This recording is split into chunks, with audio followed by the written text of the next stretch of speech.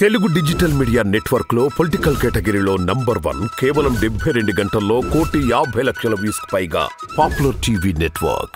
గారు గత ఎన్నికల్లో లేటెస్ట్గా జరిగిన తెలంగాణ ఎన్నికల్లో మీరు పిసిసి క్యాంపెయిన్ కమిటీకి కన్వీనర్గా చేశారు. రేవంత్ రెడ్డి గారిని కలిశారు. అక్క అప్పటి ఠాక్రే గారు కాంగ్రెస్ ఇన్ఛార్జ్ ఠాక్రే గారి సమక్షంలో పార్టీలో చేరారు. అయితే తర్వాత ఆ ఎన్నికల తర్వాత మీరు ఎక్కడ పత్తాలేరు ఎక్కడ స్క్రీన్ మీద కనిపించట్లేదు. మీ వార్తలు లేవు. ఏంటి కారణం ఏంటి? యా ముందుగా పాపులర్ తెలుగు ప్రేక్షకులందరికీ కూడాను దేశవ్యాప్తంగా ప్రపంచవ్యాప్తంగా ఉన్న తెలుగు ప్రేక్షకులకు అందరికీ కూడా నా హృదయపూర్వక శుభాకాంక్షలు. అండ్ నేను పార్టీలో జాయిన్ అయ్యేదానికి ముందు రేవంత్ రెడ్డి గారిని కలవటం Hmm. అండ్ సార్కి నా గురించి చెప్పటం. తప్పకుండా we will take one decision అనే టైంలో అండ్ రేవంత్ రెడ్డి గారు కొడంగల్లో కానీ అప్పుడున్న అధికార పార్టీ ఆయన ఇబ్బందులకు గురి చేయటాన్ని బట్టి నేను పార్టీలో జాయిన్ అయినాక సార్ని కలవలేకపోయానండి. అండ్ ఎలక్షన్ అయిపోయిన వెంటనే థర్టీ ఫస్ట్ ఎలక్షన్ అయింది. అండ్ ఫస్ట్ ఎర్లీ మార్నింగ్ నా ఫ్లైట్కి నేను యూఎస్ఏ వెళ్ళాను. Hmm. వై? బికాజ్ క్రిస్మస్ సెలబ్రేషన్స్కి నేను అక్కడికి వెళ్ళటం. అండ్ పార్టీ సక్సెస్ అయ్యి ఎప్పుడైతే అధికారంలోకి వచ్చిందో అక్కడ కూడా నేను సెలబ్రేషన్స్ చేయటం నా వాయిస్ అక్కడ అక్కడ? యా అక్కడ కూడా ఇంటర్వ్యూస్ అవ్వటం మా మీడియా ద్వారా శుభాకాంక్షలు తెలియజేయటం జరిగింది.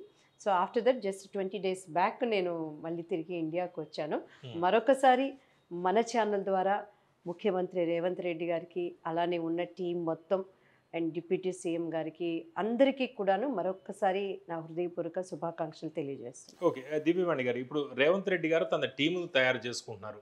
అంటే పాత కాంగ్రెస్ నాయకులు కాకుండా టీడీపీ గతంలో టీడీపీలో ఉన్నవాళ్ళు టీడీపీ టీంని కాంగ్రెస్ పార్టీలో చేర్చుకుని ఒక టీంను తయారు చేసుకుంటున్నారు అనేది లేటెస్ట్గా కొంత చర్చ జరుగుతుంది.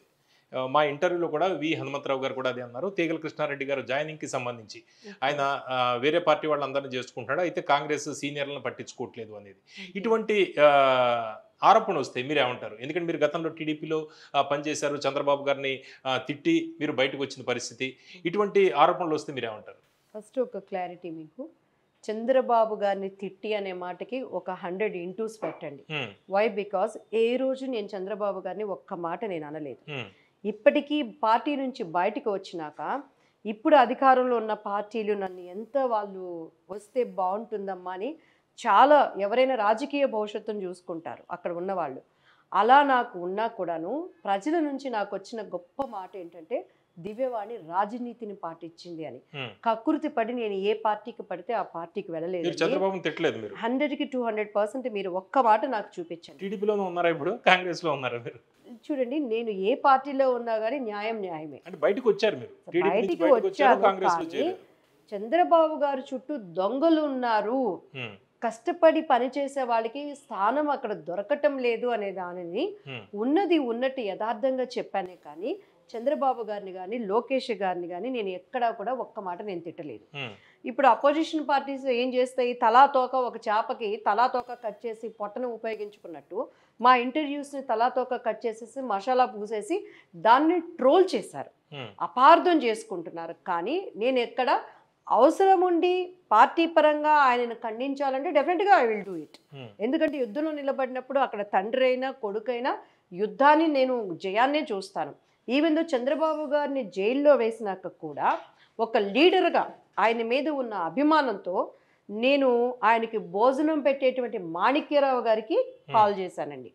ఈవెన్ ఆయన కలవడానికి వెళ్తానన్నప్పుడు కూడా ఆ చుట్టూ ఉన్న దొంగలు నన్ను వెళ్ళి ఆయన పలకరివ్వడానికి కూడా నాకు ఆస్కారం కల్పించలేదు. వై బికాజ్ నేను ఉన్నది ఉన్నట్టు చెప్పానని. సో అప్పుడు నేను మాణిక్యరావు గారికి ఆయన భోజనం పెట్టడానికి కాల్ చేసి నేను అడిగాను. మనసు అంత పెద్ద ఆయన. మేబీ తప్పు ఒప్పు ఉందో అవతల వాళ్ళు కావాలని వేశారో ఇరికిచ్చి వేశారో సెకండరీ ఆయన వయసును బట్టి ఆయన ఆరోగ్య రీత్యా బట్టి ఆయనను అట్లా ఉంచటం బాధ అనిపించి ఒక మానవతా దృక్పథంతో నేను ఆయనకు కాల్ చేసినప్పుడు ఆయన చెప్పిన మాట. అమ్మ మీరు ఇంటి బిడ్డ లాంటి వాళ్ళు ఇక్కడ. తప్పకుండా మీరు రావచ్చమ్మా మీరు వస్తే కాదనే వాళ్ళు ఎవరు? అన్నప్పుడు అయ్యా ఆయన గురించి ఎప్పుడు ఆరోగ్యం బాగుండాలి? అటువంటి నాయకుడు మనకి రాష్ట్రాలకి దేశాలకి ఆ అవసరము.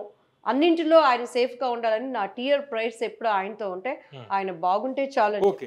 మూడు అంశాలండి. మీరు దివ్యవాణి చౌదరి గారు క్రైస్తవ ప్రచారం బాగా చేస్తున్నారు. మొత్తం చేస్తున్నారు. ఓకే మీ మాటకు అడ్డు అనుకోద్దు మీరు Hmm. ఇంకొక మాట అడిగారు. Hmm. ఇప్పుడు కామెంట్ చేశారు టీడీపీ వాళ్ళందరినీ ఇక్కడ లాగుతున్నారు అని చెప్పని. అది నాకు ఏమాత్రం వర్తించదు. ఎందుకంటే ఎలక్షన్ ముందే నేను జాయిన్ అయ్యాను కాంగ్రెస్ పార్టీలో. అన్ని పార్టీలు నన్ను పిలిచినప్పటికీ కూడా నా భావాలకి ఈరోజు భారతదేశ ప్రజలకి న్యాయం ఎక్కడ జరుగుతుందని నేను సమీక్షించుకొని రేవంత్ రెడ్డి గారు సీఎం అవుతారని. ఎవరు కూడాను ముందుగా జోష్